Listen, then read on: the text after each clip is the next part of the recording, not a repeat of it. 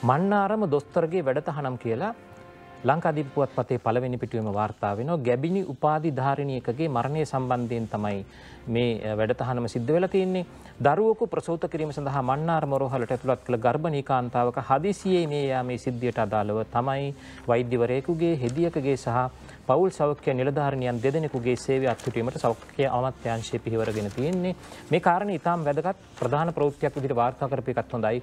ලංකාවට ලෝකයේ විශිෂ්ටම තැනක් හිමේලා තියෙන කාරණයක් තමයි මේ මාතෘ මරණ අනුපාතිකය කියන කාරණය. ලංකාවේ මාතෘ මරණ අනුපාතිකේ ලෝකයේ දියුණුම සංවර්ධිතම රටවල්වල මට්ටමේ තමයි තියෙන්නේ.